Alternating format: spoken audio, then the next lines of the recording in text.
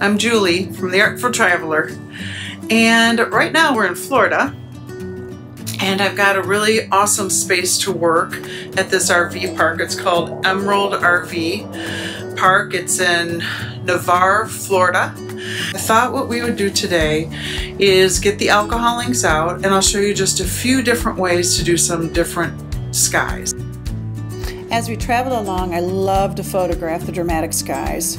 I often reference these when I am needing some inspiration for my paintings.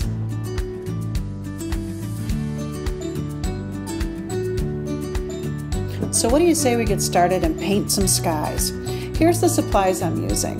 I'll have links in the description below.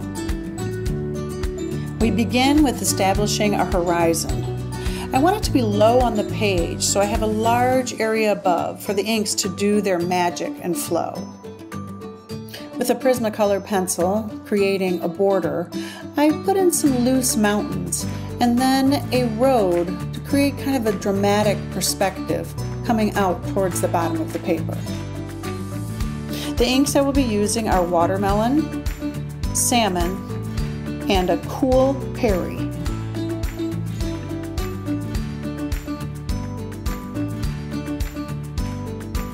Now comes the fun part. We'll use isopropyl alcohol to flood the top part of our paper. The Prismacolor pencil has created a barrier so the alcohol stays above. Now we're going to squeeze out lines of ink and move our paper from left to right, blending the inks. We have a lot of alcohol on our page, so I'm going to tilt the paper and let the ink and the alcohol run completely off. Using a brush, a fan brush, I blend and add some dramatic lines. Now I'll use a bulb blower in order to blend the inks even more. This kind of creates the feeling of clouds. I'll put a link for this and some of the other tools I'm using today in the description below.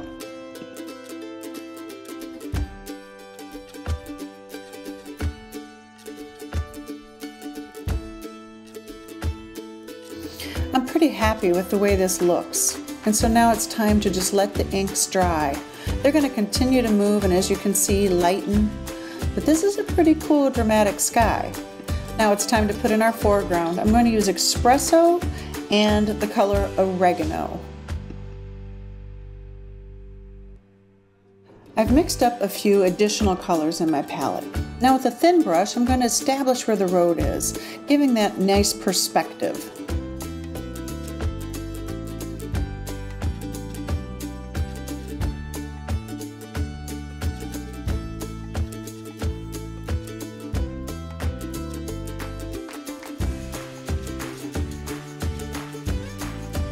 Now let's do the mountains. Using a quarter inch flat brush, I follow along the Prismacolor lines and just put in the mountains with some different tones of brown.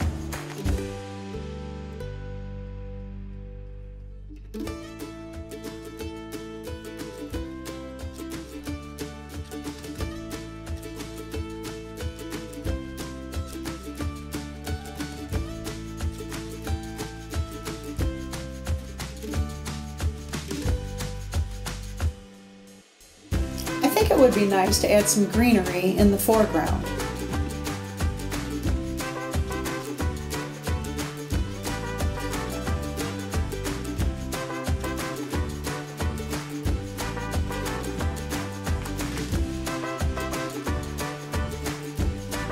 Okay, now it's time to add some detail, and my favorite tool is Copic markers.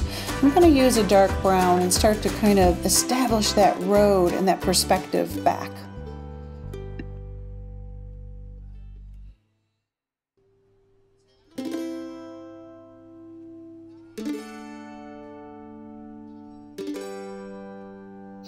After adding some detail, I decided to stop because I want to keep this painting simple. I really want it to be about the sky. I think this was successful. How about now we do a stormy sky? Using the Prismacolor pencil, I decide to create a rocky foreground and putting it a little more towards the center of the page. Again, flooding the top with the alcohol in the same process we just used.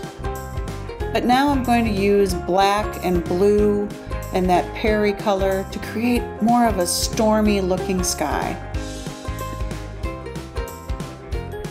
Remember, once you have your inks on, be patient and let them drip and flood and move around. You can use your brush to assist the ink. Here I've put in the deep dark black and I'm just going to move the paper back and forth and now get an air can in order to create some more blends, some more clouds. The air can is a terrific tool. Here are a few tips for using an air can. Number one, don't shake it. It's not spray paint. Use it in short little bursts, and if it gets cold or starts to build condensation up on the tip, just set it aside, let it rest a bit before you're using it again.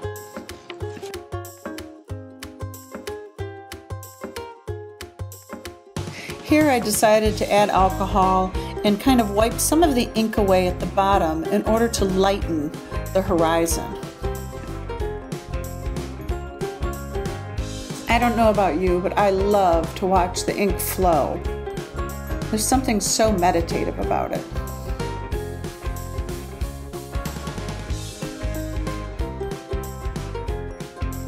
A common question I get is when to stop. When to stop adding ink, adding alcohol. And you know what? That is really just such a personal decision. But I kind of like how this is looking.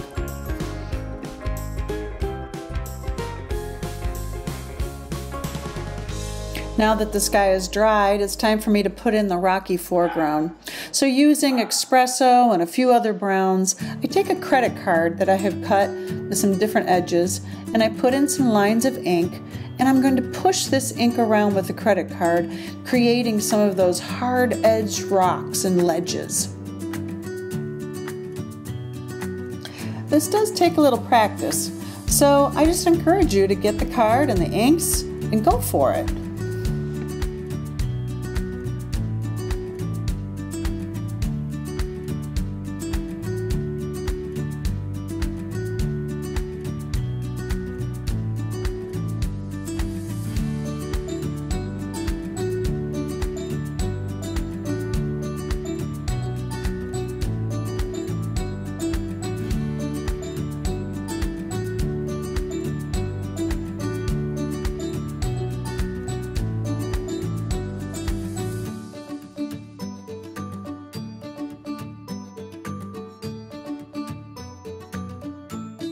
I'm really liking the way this looks, but I think I want to add some gold. Gold is an interesting ink. It's one that is a mixative and you have to shake it. But as you can see here, it is just magical.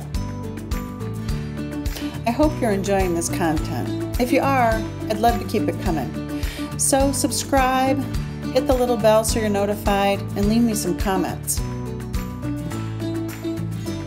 Now back to our painting. When you add alcohol to the gold, it actually separates into some little granulars. And so I'll move my paper around and it'll just give a shimmer to some of those rocks. I am very happy with this dramatic sky and this rocky ledge. Next week we're going to be doing cotton balls, wild cotton balls that I saw as we traveled across Georgia. I hope you join us.